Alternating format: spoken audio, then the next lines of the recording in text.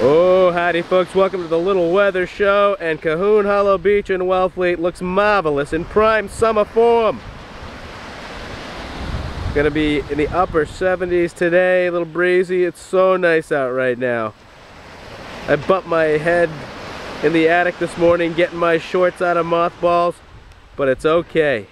It's a badge of courage because here comes summer.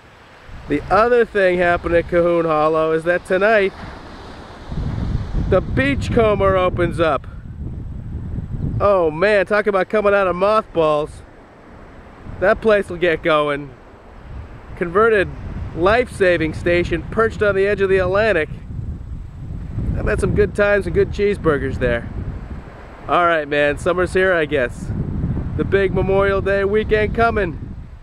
Woohoo! Have a great one, everybody!